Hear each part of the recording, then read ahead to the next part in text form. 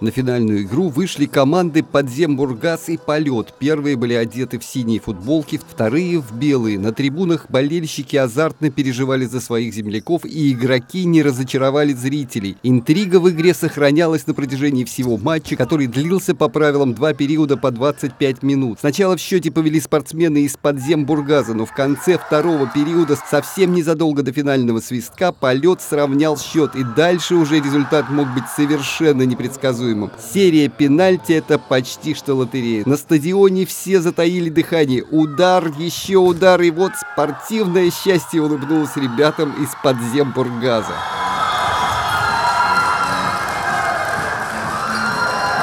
Радость огромная. К этому шли весь, весь год. Нервы были сегодня на пределе. Должны были выиграть в основное время. Не получилось. Фортуна ушла от нас, но по пенальти вернул Бог нам. Я думаю, что мы заслужили эту победу. Э, глядя теперь вот на команду «Газпром Бурение», наверное, все-таки еще больше наплыв пойдет э, в детские школы, в спортивные школы, футболом будем развивать. Ну и, соответственно, выходить, я уже говорил, выходить на более высокий уровень. Первенство района мы прошли, первенство области мы в этом году э, участвовали в первенстве области, заняли второе место. Э, я считаю, что хороший результат, хороший показатель для этого сезона, для первого года участия в таком соревновании. Первенство по мини-футболу год от года набирает обороты. И на этот раз всю зиму состязались за победу в нескольких турнирных группах, куда организаторы включили команды разной степени мастерства. Всего же в первенстве участвовало более 60 коллективов. Всего принимало участие 64 команды, 64 команды. в зимнем первенстве. В зимнем первенстве. Да, которые играли у нас э, в манеже УСК Подмосковья и на Фоке на Дальнем Уранке.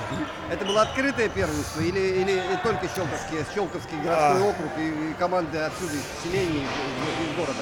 Мы отдаем, конечно, предпочтение тем игрокам, которые проживают у нас. Почему? Потому что у нас а, очень много заявок на участие, а, к сожалению, даже со строительством ФОКа нам все равно не хватает времени. И вот наступают самые волнующие минуты. По результатам первенства проходит награждение победителей.